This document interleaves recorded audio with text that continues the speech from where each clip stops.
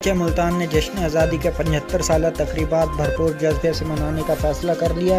इस सिलसिले में तैयारियों का आगाज़ कर दिया गया है। आज़ादी शजरकारी मुहिम के सिलसिले में शजरकारी की जाएगी और आवाम में पौधे तकसीम किए जाएँगे। स्कूल के बच्चों से पौधे भी लगवाए जाएँगे। इन ख्याल का इजहार D G P H A Syed Shafkar Raza ने आज़ादी जश्नकारी मुहिम के सिलसिले में जायज़ा इजलास की सदारत करते हुए कहा। इस मौके पर director admin and finance Chaudhary Ghulam Nabi director horticulture Saad Qureshi deputy director admin Javed Arif और deputy director marketing Hafiz Usama भी मौजूद थे। उन्होंने मजीद कहा कि झंडों के साथ साथ प्यारे वतन को सब्ज दरख्तों से भी आरास्ता करेंगे। जश्न आज़ादी को भरपूर जोश और जज्बे से मनाएँगे, स्कूल, तालब इलमों के साथ साथ माशरे के दिगर अफराद को भी शजरकारी में शिरकत की दावत दी जाएगी। D G P H A Syed Shafkar Raza ने तमाम आफिसर को तैयारियों के लिए टास्क सौंप दिया।